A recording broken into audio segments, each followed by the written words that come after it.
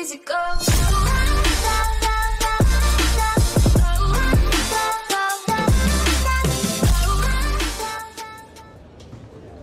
Okay, I've got something for you. The new parts have been fitted to the car. The simulation numbers are good, so look forward to your feedback. Check out the details.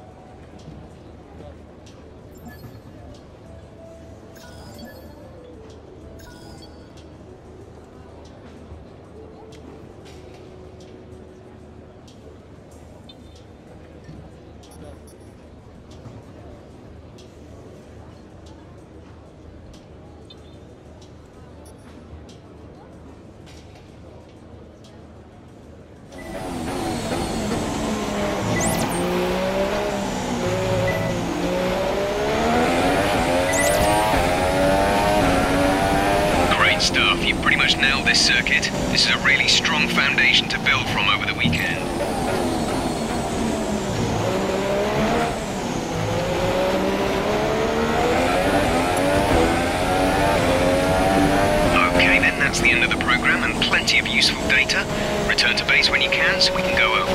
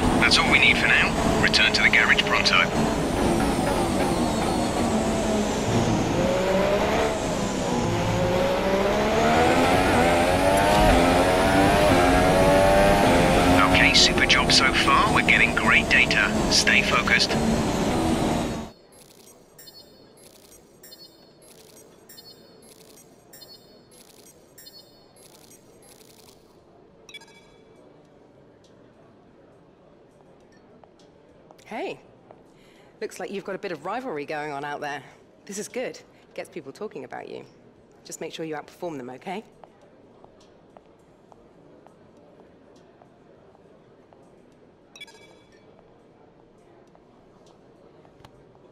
Hi, it's Emma.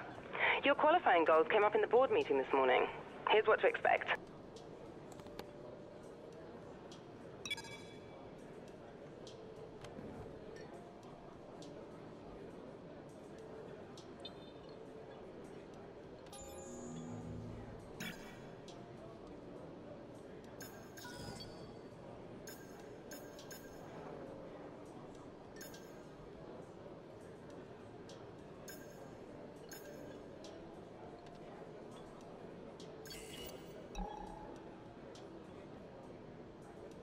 Qualifying time at Spa, one of the mightiest tracks on the Formula One calendar.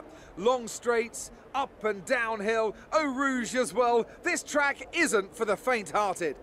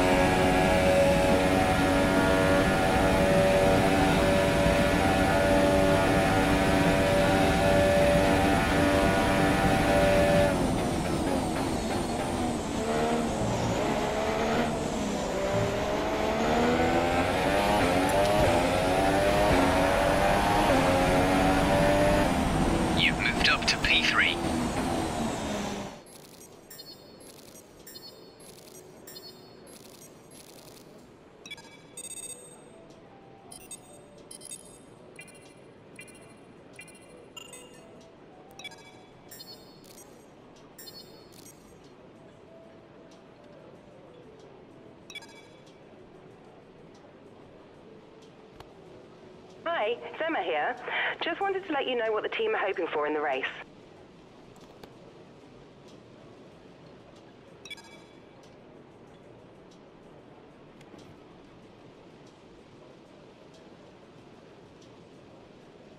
Well then, after an exciting qualifying session yesterday, let's take a look at how the cars line up. Sebastian Vettel has a clear track ahead of him today. He starts in pole position. And Lewis Hamilton completes the front row. Looking down the rest of the grid we have Bottas, Raikkonen, Daniel Ricciardo and Perez, a Haas, Verstappen, Ocon and Nico Hulkenberg, Sainz, Massa, Kevin Magnussen and Kvyat, Alonso, Palmer, Lance Stroll and Pascal Wehrlein. Vandoorne and Marcus Ericsson rounds off the grid. And now it's time to head down to the track.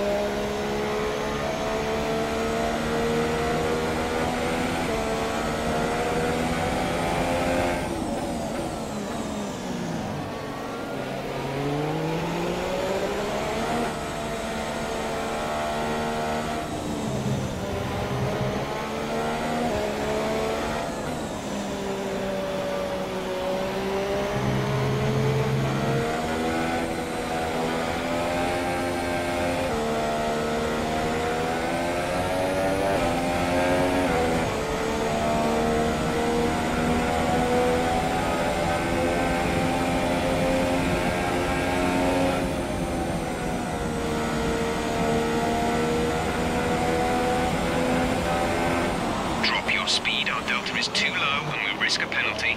Slow your pace immediately.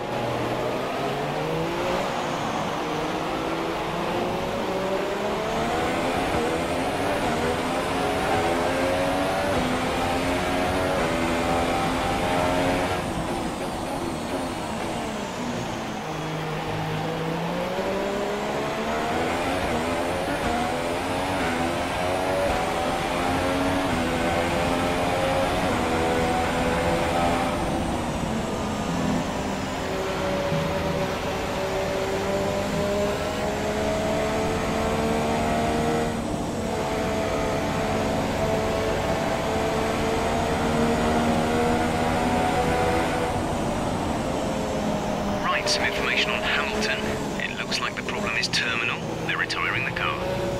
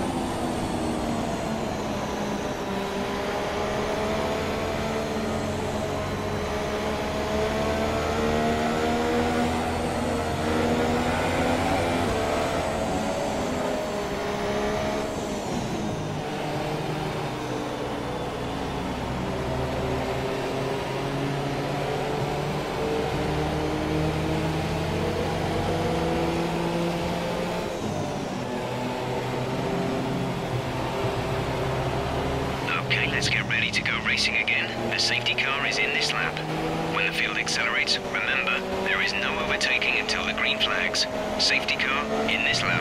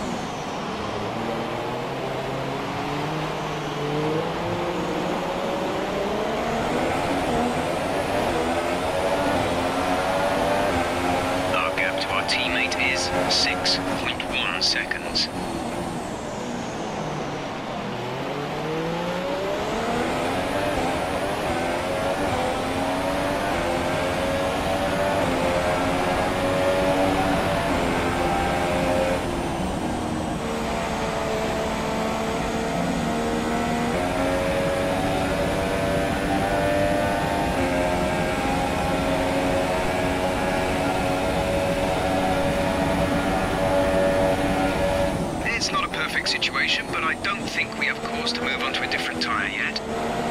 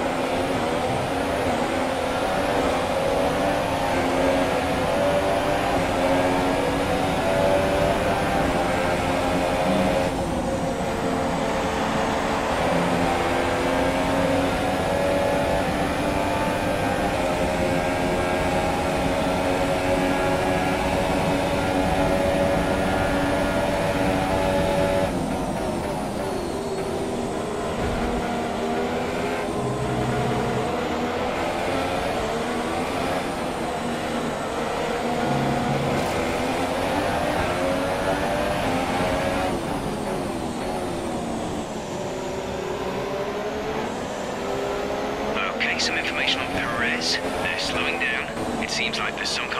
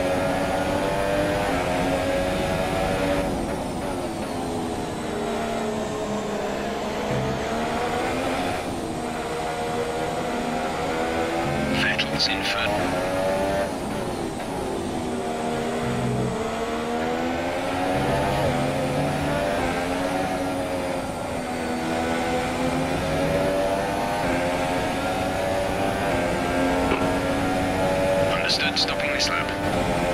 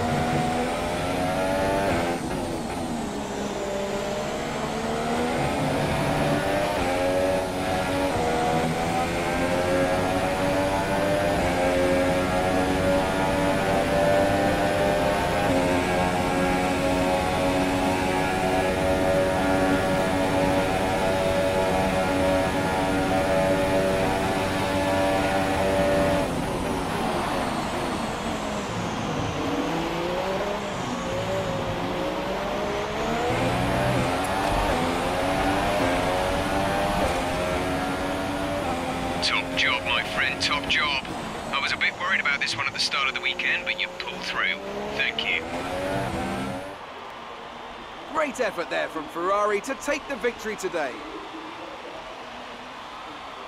Tell me, Ant, what was the key to this success? Well, time management probably played quite a large role in the outcome of this one. As ever, it's not just about speed, it's all about maintaining that speed consistently over a stint, over a race distance. So being able to keep up the lap times while still being smooth on the controls and gentle on the tyres, that's really where the race was won today. So, here they come now, out onto the podium. Wherever you go, anywhere in the world, the Prancing Horse flags are dominant in the grandstands, and they're out in force again today. It's Ferrari on the top step once more.